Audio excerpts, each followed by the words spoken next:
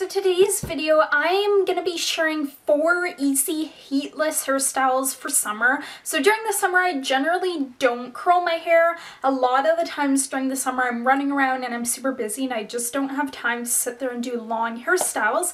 So I want to still show you guys some really cute hairstyles you can do while on a time limit and that are super cute. So if you would like to see that, then just keep on watching. Wash my hair out. It's a bit tangled here.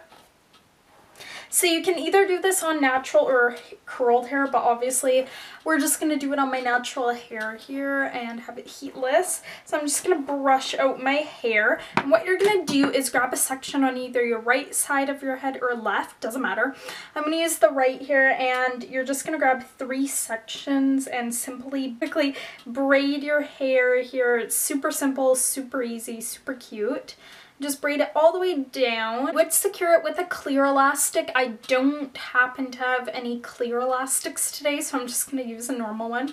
But generally that would look a little bit better for your hair and you don't really see it too much. But you can either have it like this super cute super simple or you could pin it back on both sides. I sometimes do this on both sides and have half up half down or just on one side but it's super simple super easy and a really cute hairstyle. Brush your hair out and I've seen a lot of people do this and I think it's such cute hairstyle. It's actually a trend right now. And you just grab a clip, like a bigger clip here. There are a bunch. I'll list, I'll list them down below, but I've seen a bunch. And you would just kind of put a clip in here. I've seen people do it on both sides or one side, or you could even twist a piece of hair back.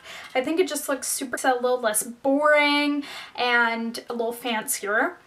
For the second hairstyle, what you're going to do is grab two sections of hair away from you and just twist it super tight and then you can pull it back here and I'm to use the clip here to secure it. So I sometimes do one side like this or two sides. It depends. It's super easy. I think it's a great way to like showcase those super cute clips you have and put it in. It's a super easy hairstyle that makes you look like you tried a little bit more and I love it. Sections and split it into three pieces. Most of you probably know how to braid, but and just start braiding. And I'm kind of gonna do it a bit tighter. I'm not super picky with this just because my hair does have layers. Sometimes braids tends to fall out a bit, but what I'm gonna do and then we're gonna secure it with an elastic. Again, I would use a clear elastic, but I only have these ones right now, so it works fine. I think braids are perfect for the beach, and if you take it out, your hair will be a little crimped and wavy, and it looks super cute.